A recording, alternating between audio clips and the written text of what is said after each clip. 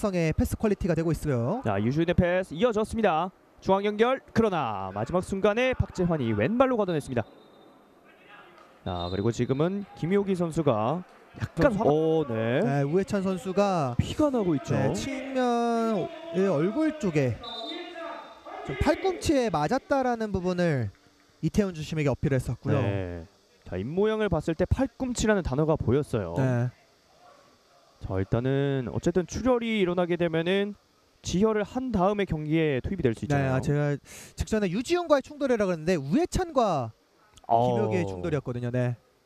자, 일단은 수비하는 입장에서는 어쩔 수 없는 선택이라고 볼 수 있겠지만 자, 일단은 출혈이라는 거는 어쨌든 부상이 굉장하다는 거거든요. 야, 지금 김해 배- 스태프들도 팔꿈치에 대한 활용을 좀 이태훈 주심에 여기 어필- 선수가 조금은 더 이 이태훈 주심에게 그런 부분에 해석이 되지 않도록 주의할 필요는 있어 보입니다. 네.